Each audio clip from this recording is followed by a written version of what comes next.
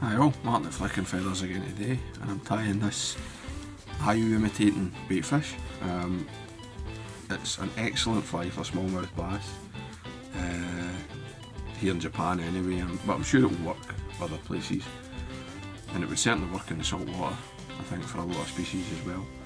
Um, but I use it a lot here and catch plenty of fish on them. I also tie them quite small, to just a couple of inches. Um, you know they work well at different times of the year. Um, and if you watched uh, the recent video I did of, uh, I think it's Maruta fishing, there's a smallmouth bass that I caught as well, and that and the fly that was in the vice is actually the fly that I caught the the fish on. Um, I'm just sort of restocking my box at the moment, and obviously I'll tie a couple up for the giveaway. As always, I'm putting my materials list in the description, along with a link to the Patreon page for anybody that wants to support the channel, get access to the members only content, and be eligible for the giveaways. You can also subscribe, hit the bell button so you get notified of the new videos. That's all, appreciate it. Right, so I've got my hook and my vice, and this is a 3.0 Partridge Universal Predator X. Um, I mean, I'll go right down to a 2. Uh, maybe a 3.0, a size 1.0, and a size 2 would be the, the kind of three main ranges. So this has got to give me like 5 inches, maybe something in the 3.5, and then something about 2. And that's, you, you know, you're covered for the whole the whole year's bait fish basically. So I've got my thread now at the back, this is GSP 100 and I've come back to the start of the bend which is on this hook slightly behind the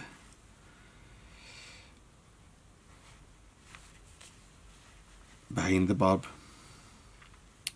We've got some bucktail and you don't need a ton. Um, maybe a wee bit more than if you were tying like a conventional bucktail deceiver or hollow fly simply because I'm only putting in three stages a tail one about the middle and one at the nose um, so maybe slightly heavier than you would for a, an ordinary bucktail deceiver with, or with several uh, ties so get that in I'm just force the bucktail around the shank take two loose wraps and tighten on it. See how you're sitting. You should have complete coverage. And you can just tighten up. Spiral your thread forward. And then you can still sort of manipulate things and make sure that the fibres are sitting on the side of the hook that they should be. I'm going to come back with some really tight wraps here really biting in over these waste pieces getting that all nicely secured and now I need some flashy dubbing right I'm using this is the Sebai uh, Spectra dub it's quite a soft flashy dubbing and this is uh, this is the UV pearl this colour sort of bluey purpley pearl you can use the plain pearl if you like, it works fine. I'm going to get my dubbing on the thread and come to just behind the halfway point, right? The the halfway point's got to be my tie-in, so you need the dubbing to slop, stop before the halfway point so that you're tying on shank, not onto the dubbing. That's a mistake a lot of people make. They go right to the halfway. When they're, when they're tying like flies in stages, if there's an under material, they often use that right up to the right up onto the halfway point, which it should actually be left bare, um, or onto the, the point of the next tie-in, depending on the fly, obviously. And that's how you end up rushing your head. So I've got a bit more wet glue on there, and I'm going to dub backwards.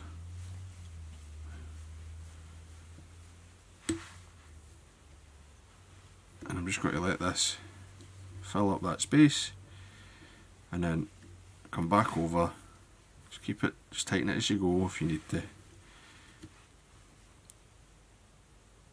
build a good amount something like that.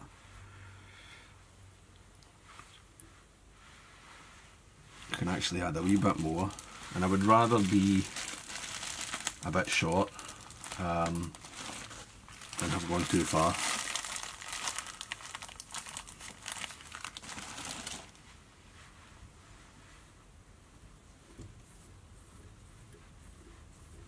This wee bit will do. Just come back through it and that's fine. So I'm going to take another bit of white bucktail.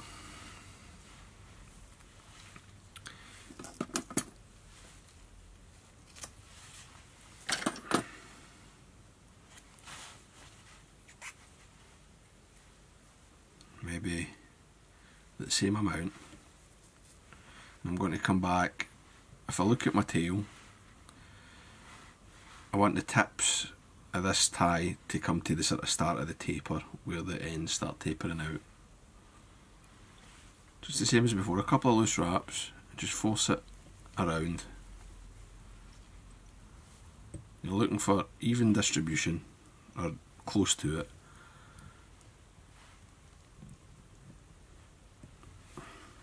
Hold it tight and get some wraps in there, just lock that in. I mean you can see I'm moving that hook. Those wraps are well locked in, you know it's really tight. We trim the waste.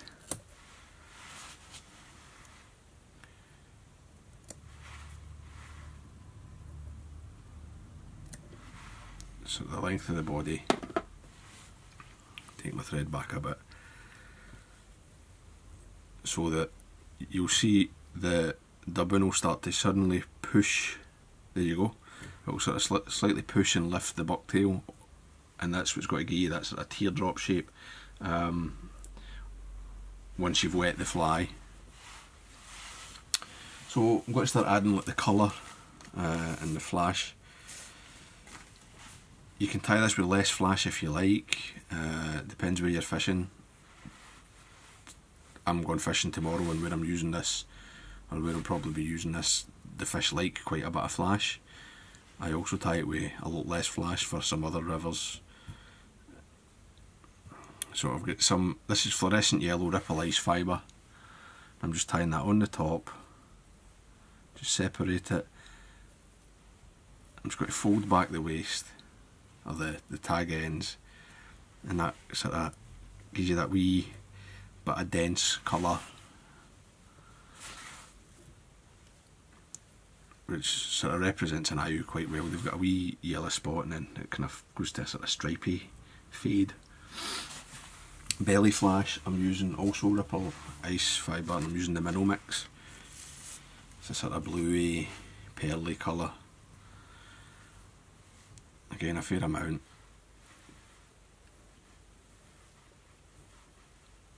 Tie it in so that the, the longest bits are coming back to the end of that tie a bucktail Make sure it's spread around the bottom of the fly, giving you that belly. Fold back the waste. Gives you a nice bit of flash. And then, same as before, just really crank down on that bucktail. Tidy everything up.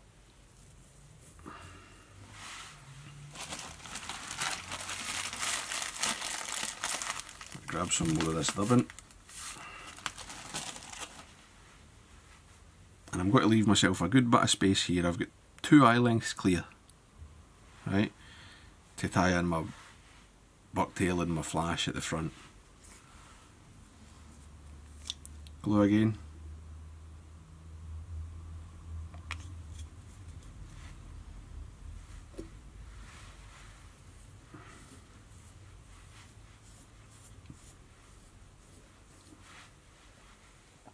Probably enough. We'll see. You can always add more. I'm going to just wrap it back. I don't need more.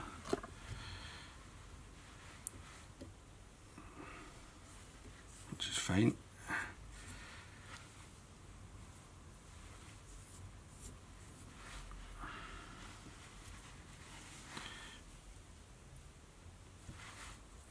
could probably skip this dubbing, but um, I like to brush it into the brush it into the bucktail with the velcro. Do or don't, it's up to you. Uh, it just pulls a wee bit more flash into the fly. Looks quite good. Again, if you're if you're fishing somewhere where the flash isn't such a good choice, you might just go bare thread. Entirely your choice. It's your fly. So I'm going to come in now and get my belly. And it's just a bit more white bucktail. And I'm taking, I'm trying to get hair from quite high up in the tail, up near the tip. I don't want, I don't want a lot of flare and a lot of buoyancy in the, in the hair that I'm using for this fly. Check out your length, come to about there. So again I'm just at the start of the taper of the previous bucktail tie-in. Catch that on the bottom. Couple of loose wraps and I'm just going to put my thumb here and then pull tight. And that should keep most, if not all of the bucktail on the underside of the shank. That is trying to creep on me a wee bit but that's not a problem of that secured. And I can let it come all the way around like the bottom half right? You can still see the shank in there it's clear. But it's certainly in that sort of halfway around right? I mean the the line of the bucktails there right along the shank length which is ideal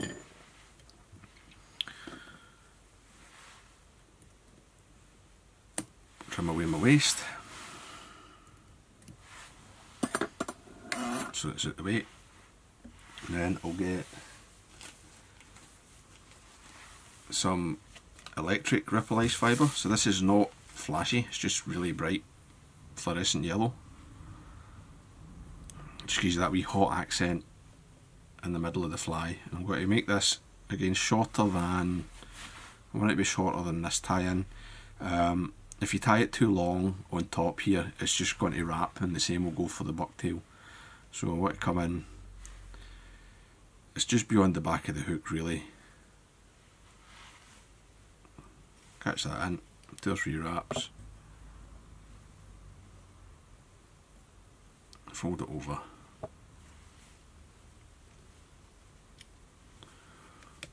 just tidy up It's looking good. You can, sometimes I like to come in with my brush, the wire brush, and just sort of separate the fibre, see how it wants to spread. Uh, and I'm going to take some olive bucktail for the back, and I don't mind coming further down the tail for this. Uh, I've not put a kilo in this fly. Um, sometimes I kill them but there's more material on the top and the hook's quite heavy anyway so you get away with it a keel um, and I'd rather have like the lighter fly on the sinking line or the intermediate line than a heavy a heavily weighted fly in this pattern anyway um, but sometimes a keel's good if, if if you're fishing faster water or you want it to sink a wee bit quicker a couple of wraps of lead on the bend is ideal, but most of the time you don't want it. I think. Some people might disagree with me on that one, but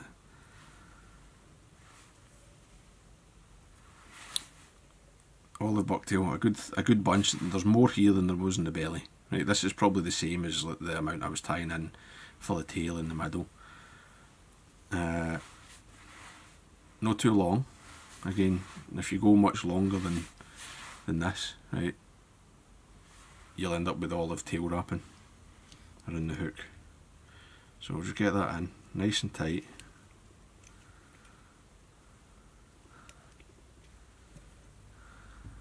See how you're sitting. Get your thumbnail. Make sure you're all the way around the hook. That's fine. Take another few lap wraps just to consolidate that. And come in close, cut away that waste.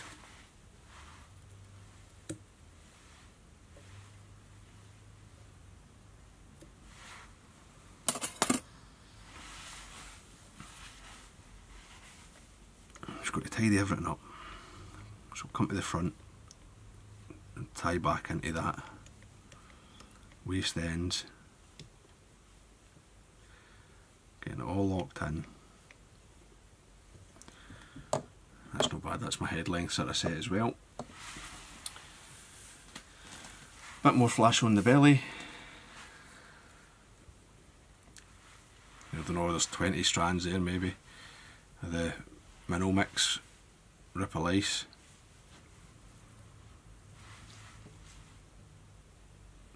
Just tie it in, fold it back.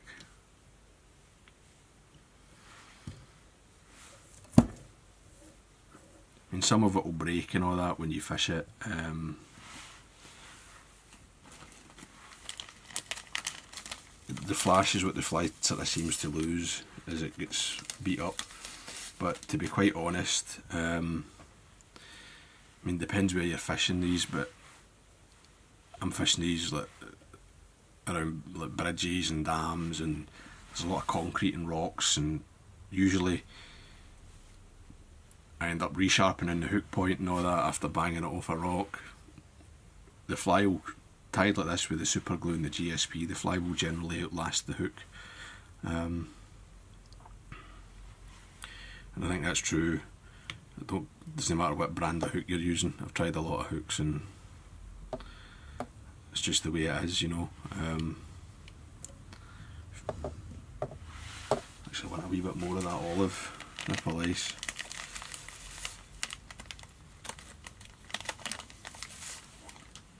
Just to darken that back up a wee bit more.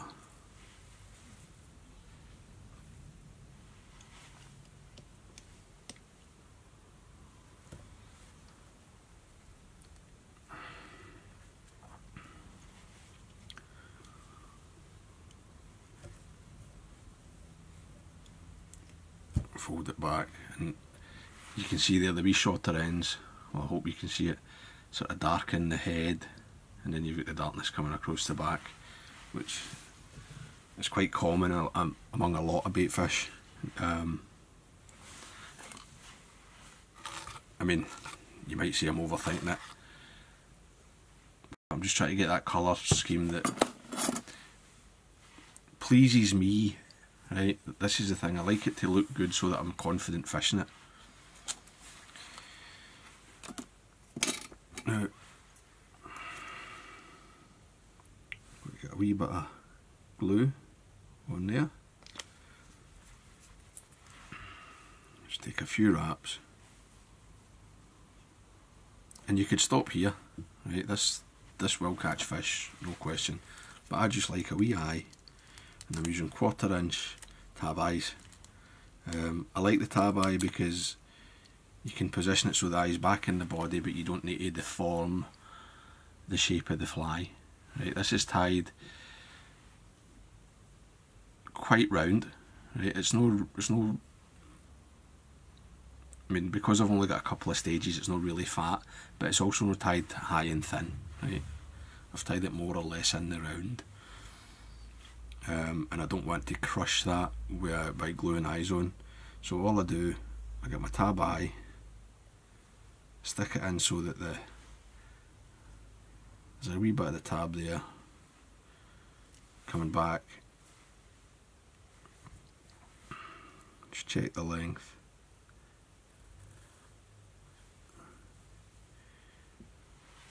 Take a wrap of thread. Just make sure it's sitting how you like and then you can you can squeeze this in to check the check the position. Because although they're, they're adhesive backed um, as soon as you fish it they, they just stop sticking to the bucktail anyway and it'll take on its round shape. To make sure that the eyes don't fall out or pull out, I like to roll back with my thumbnail the end of the tab. Right, just as you would have any other synthetic or flash. Get it on your side as well.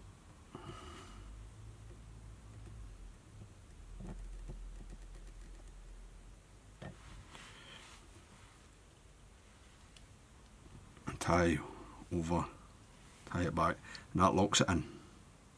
Right, the eye would then have to break. The plastic has to snap or be cut, it can't slide out.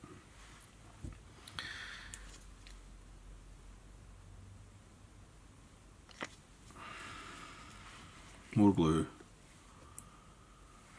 Right, glue's your friend.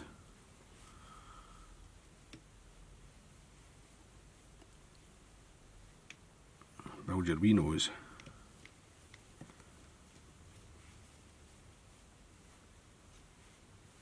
And then you can whip finish.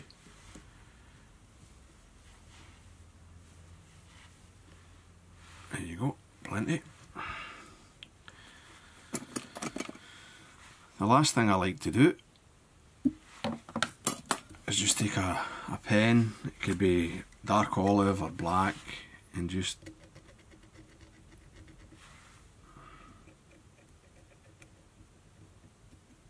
come over top half of the nose. This pen's just a bit dead.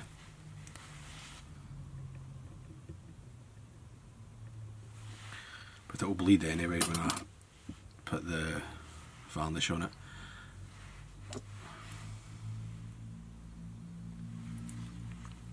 I just like, you don't need to do that at all, I just like to take that wee, um, sort of the brightness off the back of the nose and it sort of blends quite nice with the